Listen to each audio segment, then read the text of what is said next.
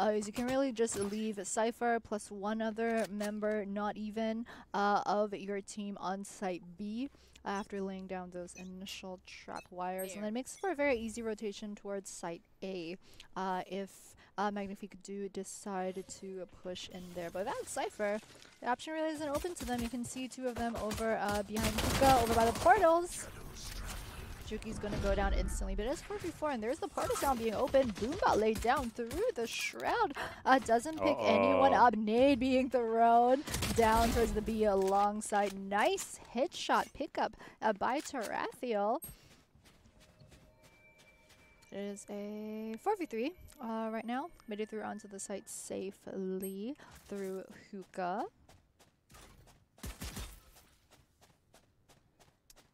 Okay, that's going to give him a bit of intel. So now they know that uh, he's pushed down, she's pushed down B long, and they will just think about what they want to do.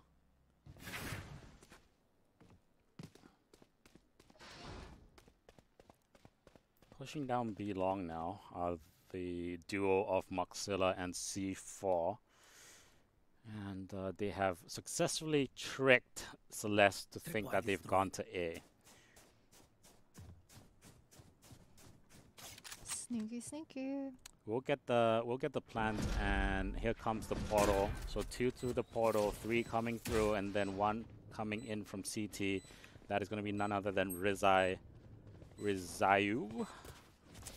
And now they'll push each, all of them. Tarathiel will go down first. Ayumi taking out uh, T4, and Ayumi will drop MOXILA as well. So they get the defuse, and they'll take the pistol round 1-0 in pretty convincing fashion. I've actually figured out now and decipher the secret of how they're going to hold the site without Cypher. So Tarathiel is a very aggressive player. I have seen her play both inside FSL, outside FSL, and also I've played against her online.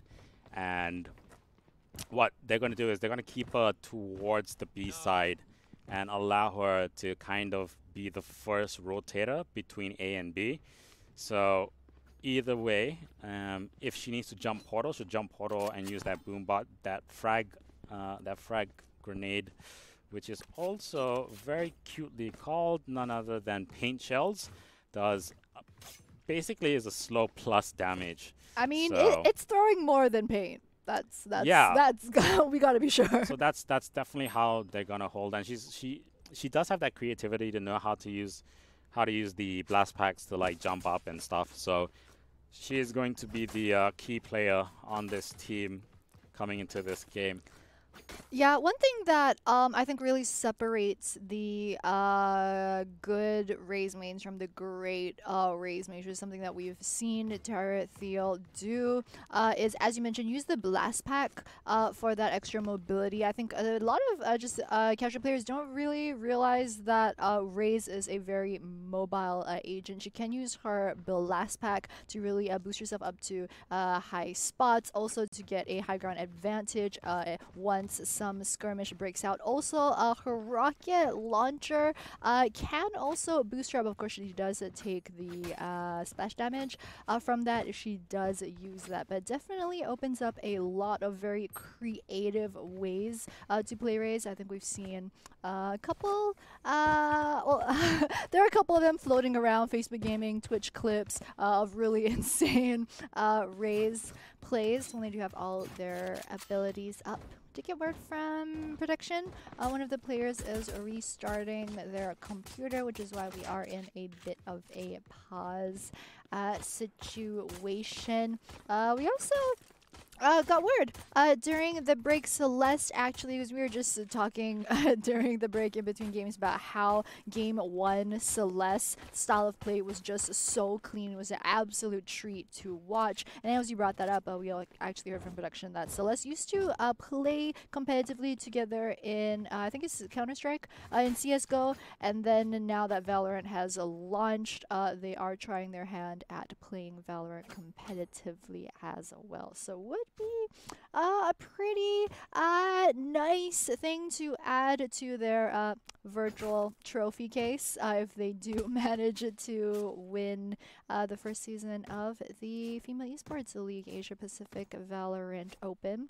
But that's, uh, I think, definitely what they're setting their sights on. It's also definitely what the team should be expecting given the level of play that we've seen from them this entire competition. Yeah, and for all your custom PC needs, of course, have a look at DreamCore so you don't have to uh, restart your PC. They definitely will set you up and uh, prepare your uh, PC for all your competitive gaming needs. So big shout out to them for sponsoring FSL's. Uh, I think they do other other they they sponsor other FSL mm -hmm. Uh, tournaments as well. Now, if you're wondering how to get to the DreamCore website, you can always go onto Yahoo. So use the Yahoo search engine and you get to the DreamCore website. Uh, the only thing I'm not very sure about is solid skill. Solid, super, super solid. Solid. Now, solid now, skills are something that's is, a challenge to all of us. Even though I, you know, I don't know, I'm not so familiar with super solid. I would use, I would turn on my DreamCore PC, go onto my browser, and use the Yahoo search engine, to find out what Super Solid is.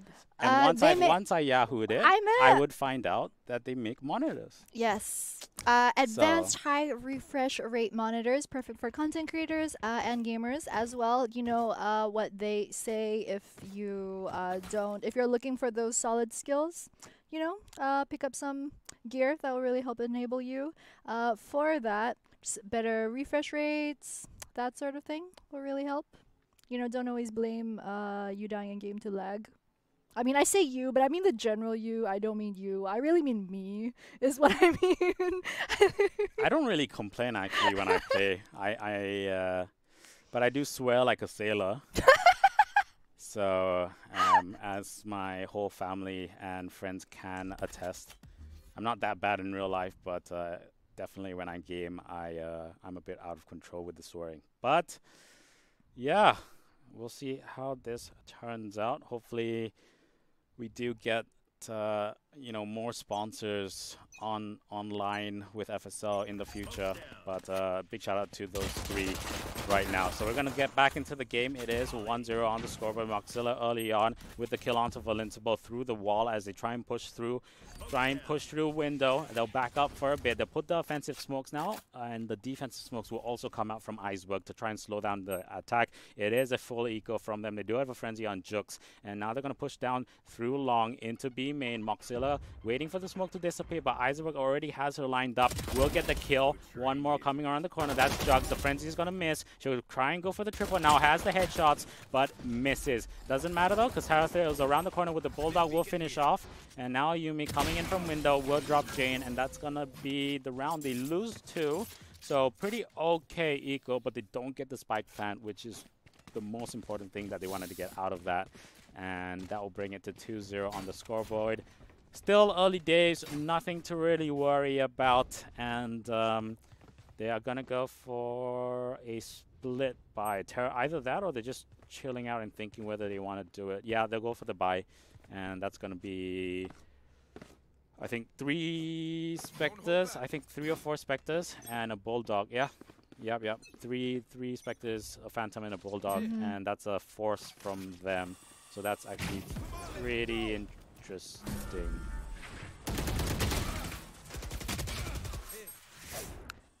Going to force Phoenix uh, back to his original location. Jane right now camping uh, entrance to Hookah after that little cute little portal skirmish. Smoke's gonna go down at Hookah entrance though. Jane making sure she makes absolutely no sound as she makes her way through. Hookah is going to catch out Eisberg right here though. Portal sound. Oh! What? How did Jane do that? Picking up two in Hookah.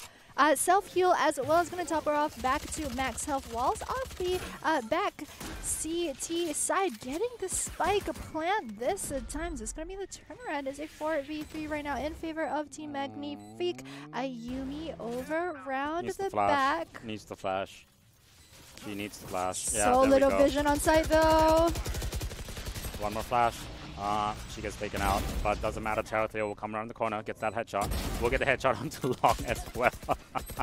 she is so Jane, Jane will pick up a quad. Terra with a quad as well. No! And Jane will be able to take out Whew. Terra I mean, we talked about that, She'll right? It- it's pretty much Jane versus Nah. Terra Terra Theo Theo at this game, point. Whew.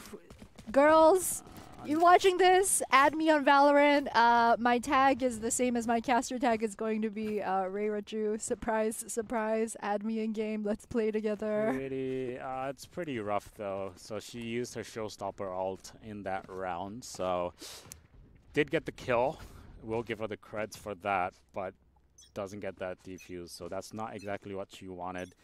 Um, but nonetheless, we will trudge on. The show must go on. 2-1 on the scoreboard in favor of uh, Celeste at the moment. Yeah, but And what a evening out. Yeah, what a huge uh, clutch win for Magnifique for that round. He's talking about how Bind uh, is a one of the uh, more imbalanced maps, does heavily favor the defender's side. So the fact that Magnifique actually 2 and 1 is a very respectable uh, score, but we'll see.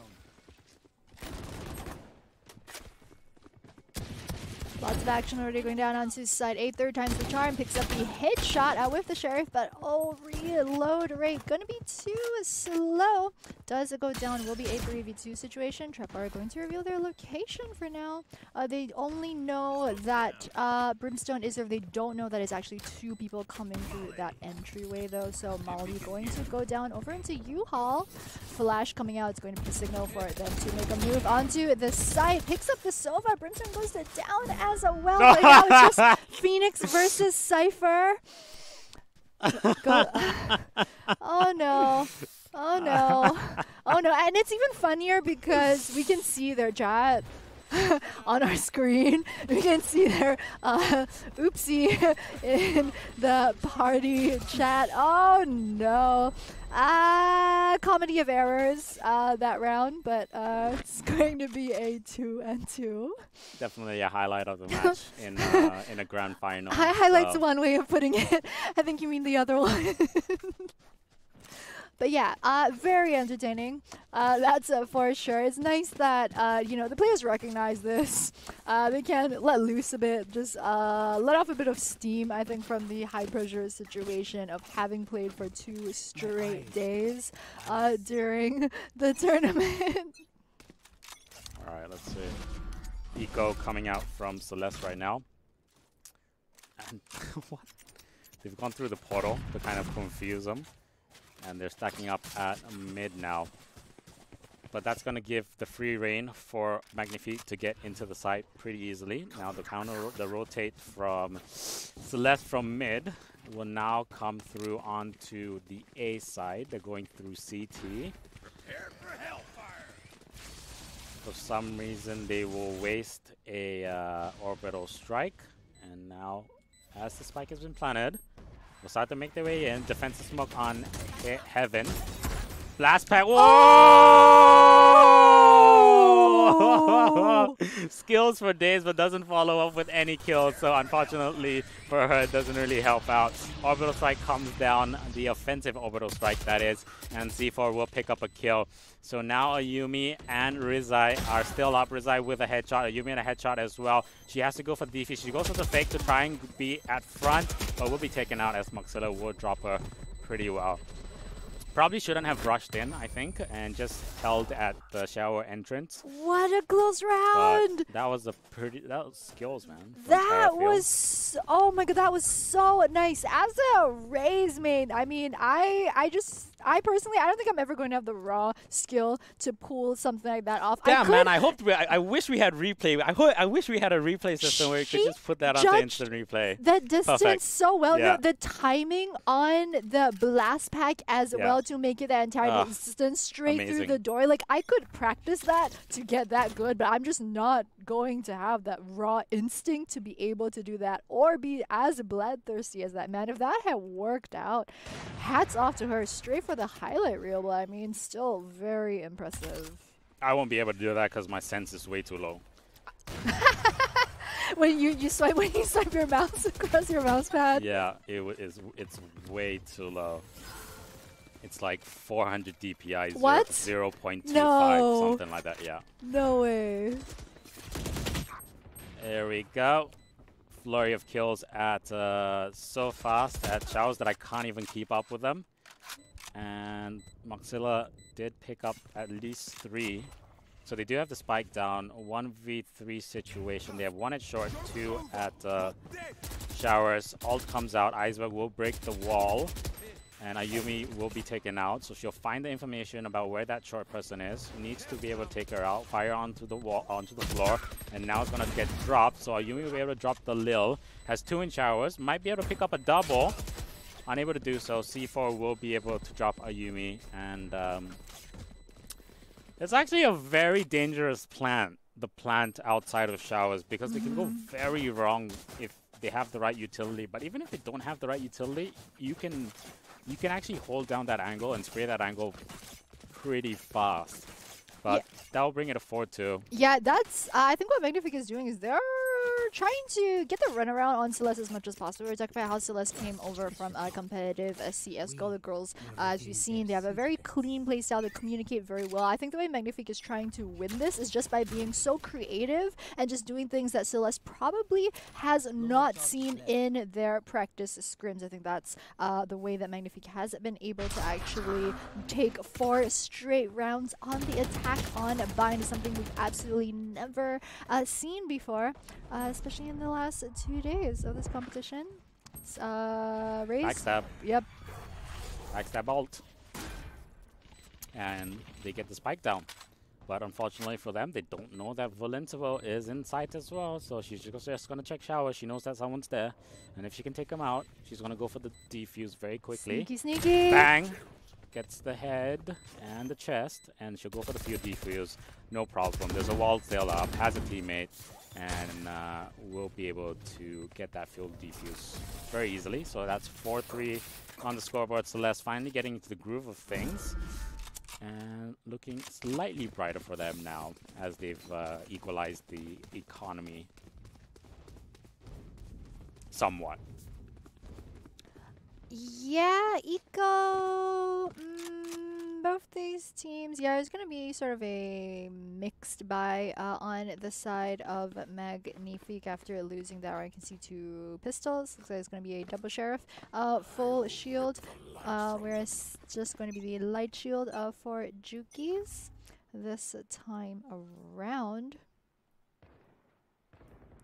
Looks like it's going to be a slow push round towards B site. Mid usually very heavily contested at this point in time. Kind of got the number on Celeste. They know there's usually around two people hanging around around uh, hookah. Uh, around this entrance over by the portals. Oh, Ayumi does pick up C444 off screen though, already turning this into a 5v4. Magnifique do look like they want to commit onto B though. There's the portal. Nice shot. Uh, is going to get uh, her ultimate off of that as well. But right now, Sage, last person left alive. Can Jane do anything? It's going to be a, no. Flawless coming out from Celeste to tie this one up four and four. Well, they're going to be happy about it so far. Getting getting four on attack is already a pretty pretty big uh, accomplishment on Mhm. bind. And anything else from here, they're going to be pretty happy. So we're going to see a Sheriff Eco coming out from, well, mostly Sheriff Eco coming out from Magnifique. And they're going to see what they can do. But like I said, I have a very big disdain for Sheriff Ecos because I, I, I, I don't really, I've never seen, I don't know. Yeah, funny, Yeah, at funnily least- at enough, least locally, you've I've mentioned never it seen- yeah, times. I've never seen a, a team that has been super proficient with, super profi- proficient with the uh, with the sheriff. Like all of their members. Yeah, really I mean it works on some of them. Jane, such a crack shot with that sheriff, just instant one shot tap you in the head. Uh, but yeah, I mean full team, bit iffy. Last one standing in that round as Vulincible was able to pick up uh, pick up two, I think, and then Tara, uh, Yumi picked up two as well. I think And all tr- of that happened at the A side. yeah, I think he's trying to see if he can get a plant down and see if he can maximize that. Oh, nice! Mhm. 200 credits in the bag. Plus a Picks up- Phantom. hmm Picks up Brimstone from Hyuga. Flash coming Double out kill. though. Okay. Oh! Interesting. Three on one. Portal sound. Here's a collapse coming in from Celeste. And they're, they're stacked up on window. This could be.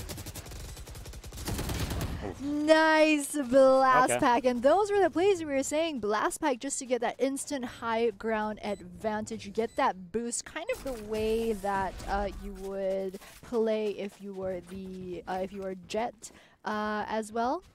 Uh, yeah, instantly boost you up high. Get a good shot down. The only thing is uh, your aim does uh, suffer a bit uh, when you are moving uh, that way, but not a problem for Tarathiel, especially also she had three members uh, from her team versus just one on Magnifique. But very nice collapse. I think Magnifique should be not happy, but all right uh, with that. I think Sova is really trying to maximize what he could get. Uh, which was the kill credits, 200, and the plant for another 300 more. Yeah. So they're gonna go through the cyber cage, and there is a wall, so they're gonna have to navigate that. C4 will be able to drop Rizai, and the ult coming out now. So they're gonna see all the positions. They'll go for the rotate now, but they know where the defensive rotate is coming out from. Recon Bolt is ready to ready to go. Eisberg on Heaven though will drop one. Vulincible with a headshot on Jane over at Shot, and now that will bring it to a two on two. They do have high ground advantage, and that's going to help Eisberg. And now the U-Hall is Jukes. 1v1 right now. Juki's trying to look for that. Uh, Brimstone is behind uh, middle back of the site. Oh, they are going to meet each other in lamps. Hmm.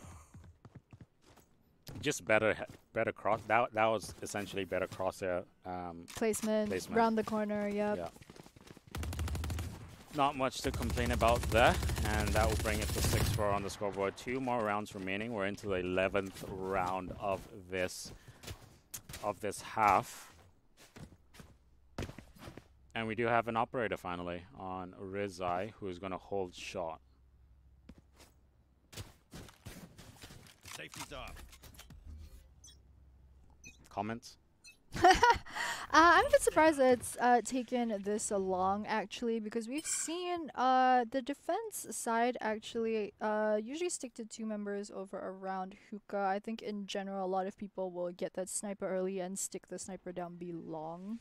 Uh, I think, but we haven't uh, really seen that, despite this being the 11th round so far.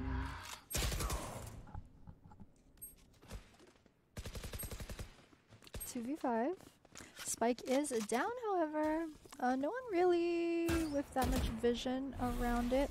Uh, Recon Bolt going to reveal location for now. Okay, we say that. Invincible does have, uh, does lay down the smokes, uh, to kind of hope that someone from the enemy side is going to walk in and they'll be able to pick them up. Does hear the footsteps, however, picks up the Cypher. Here's the portal. Zalma gets instantly uh, killed off right as he steps out of the smokes. So, uh,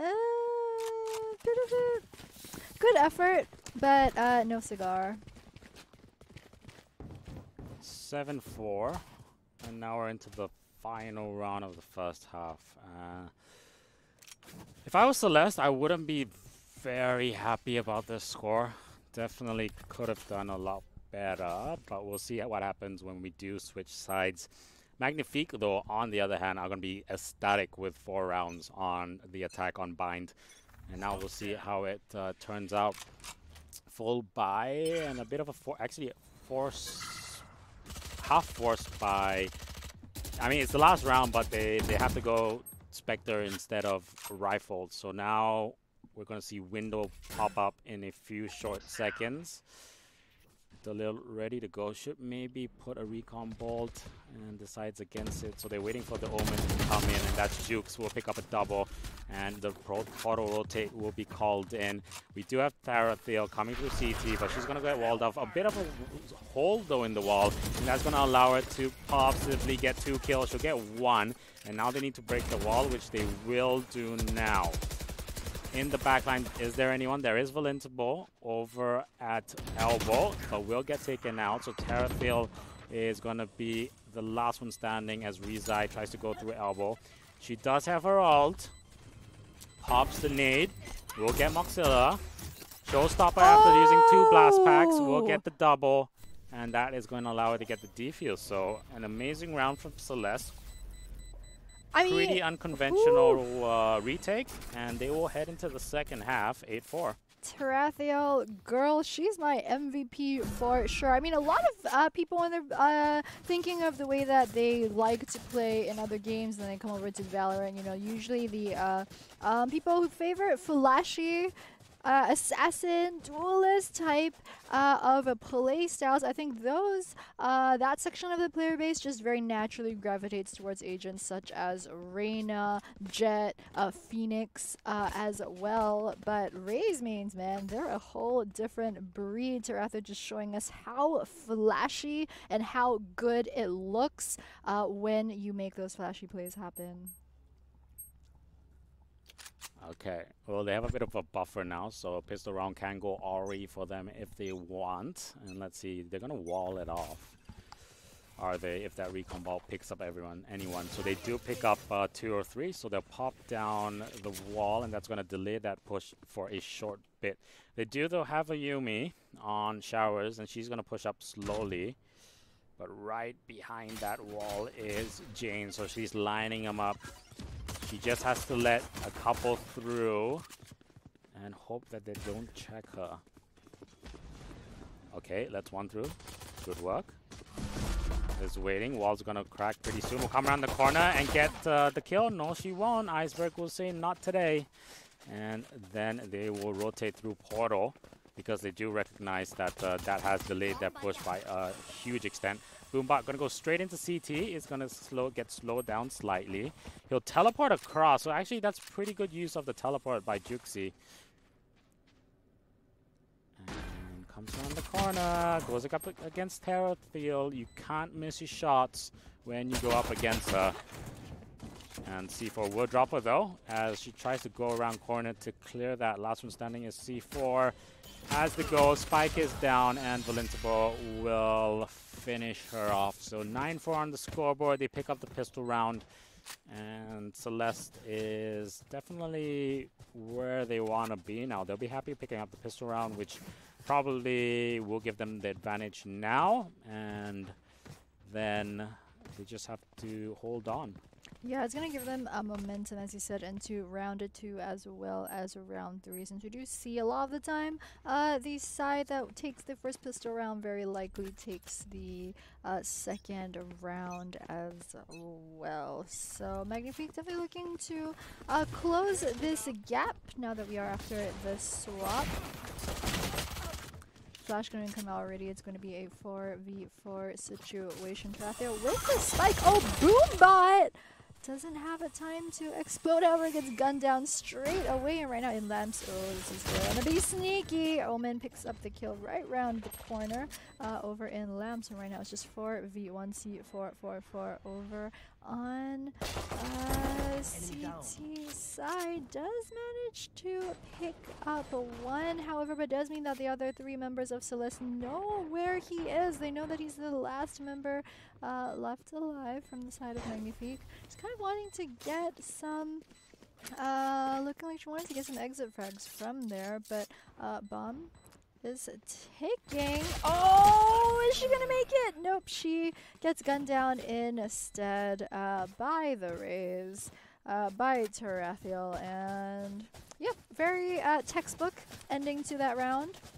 I think a lot of the times we see uh, some of the girls where it looks like they want to eco and save their gun, uh, but then we also see them just kind of turn around and be like, wait, you know, like exit frag, exit frag, come on, and then instead they get gunned down. So, bit of a 50-50, uh, which they choose. Kind of feel like sometimes, you know, you want to If you want to bring your gun to the next round, just stick to it, hide somewhere.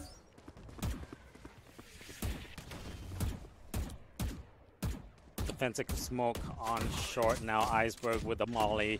Gonna try and cut off anyone who is around that corner and potentially U-Hall.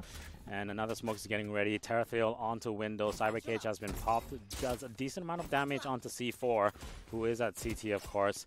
And will try and boom uh, pack anyone around the corner. Now she is going to be the signal to see if any if you can pick off anyone. They'll rotate to B. And now the offensive smokes on uh, A side will be able to drop Jane. MOXILA comes around, gets the return kill. Tarathiel drops C4. Juxi though onto Tarathiel. Now back onto the A side. Delil picks up a double edge short. And that will mean the only one left standing is Vulincible. Now, she does know that there's one of them at U-Hall, but she doesn't know where the rotate is from. Suddenly thinks, okay, maybe there is a rotate. That's Juqyx going down. And the last one standing is going to be Dalil. Now, she's trying to bait her out with the telly, and that is working out pretty well. If Dalil just had a slightly more patience, maybe that would have been a very different uh, different outcome. But 11-4 on the scoreboard now. They do have the lead. And the big question right now for Magnifique is, do we go for a force buy, Spectre force buy, and risk just being broke coming into match point or do we do we go for the eco and then try and claw our way back in with some money the next round? Yeah, it's stuck between a rock and a hard place. It's really never a good decision. It's kind of what we were saying, you know, you're down uh, at the 11 uh, round mark. You know that they only need two more rounds left. Uh, well, they, they are doing, so yep, exactly. It is four uh, and three. There was, uh, I think, uh, fire down by the Down to two members of the Celeste alive. Actually, it's going to be a 2v2. They do even out the score. Uh, Omen and Cypher going up against uh, Juki's. Uh, as well as the Sage, who still has Spike, looking for a good spot to plant. They know the site isn't clear, but they do get that very good pickup over in Lamp, so it means it's just going to be a 2v1. They know if they can uh, pick up the Sage, uh, they've got this one in the bag, and that uh, half eco is really working out uh, for them. Yeah, the force buy has worked out, so they do have a bit of money heading into the next round, and that will help them out uh, to keep it away from match point, hopefully. Yeah, so very nicely done for that. I think uh, what we've seen, especially in the top two teams, a lot of very good uh, angle checking, especially. They have very good map sense, so when you see them slowly going into uh, rooms such as lamps, they kind of know that the enemy, uh, someone from the enemy team is going to be there. Just, uh, I like it. I like seeing this high level of play. So we do have the alt on Phoenix. Tarathiel has her showstopper ready as well. We have a backstab Telly ready uh, in the form uh, of Juqyx, Hunter's Fury also, and then you have a Res. So that's going to help them if uh, retake goes wrong. Camera is going to is going to tag someone on long, so they do know that them, there's potentially a long push coming in. Question now is how's this going to turn out? Rizai will pick up an orb, so she's one kill or the spike away from having a res. And I think this round is really going to go down to the wire. So Juqyx now with the with the Phantom has that teleports potentially could just go and teleport out now. And they're gonna decide to, to use uh, Yuumi gonna decide to use her ult so that's good gets a bit of information well Linsable and Tarathiel on the side will pick off the one uh, one at elbow one at CT but has to contend with MOXILA at elbow who will pick her up Eisberg will stop that portal coming through and Tarathiel will wrap up the round so we go to map point and it is also mm, grand final point. It's best of three, right? Yeah. Uh, yeah. So we, we are we are grand final point as well. Ooh. If Celeste can pick pick this round, they are the champions yep. for the first FSL Valorant Open.